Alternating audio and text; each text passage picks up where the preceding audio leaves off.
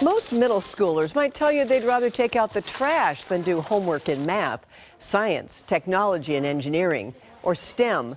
They think that sounds like work. But there's a new camp in Seattle that aims to make it all play. King 5's Meg Coyle on an approach to early learning just for girls.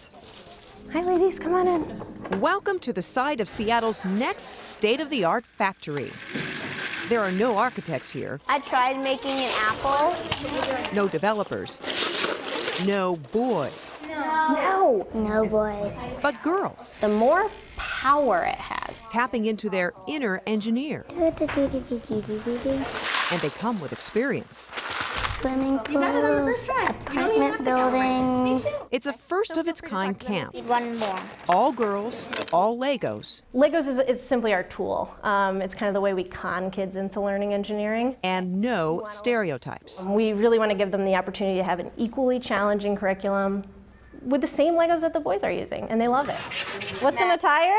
These are the building blocks to a better understanding of subjects that can seem off limits to girls. It's an American cultural stereotype that girls don't do math. Which is why Sandy Everlove and Washington STEM are trying to change that. Oksana made an apple. That's easy. Lego camps and other STEM stimulating concepts can go a long way. We learned about They just haven't gone far enough. Places where they don't necessarily have exposure to the kinds of STEM and technology opportunities that kids in, in King County have. Boys may have cornered the Lego building boom of the past, Sometimes they show off, kind of, their skills.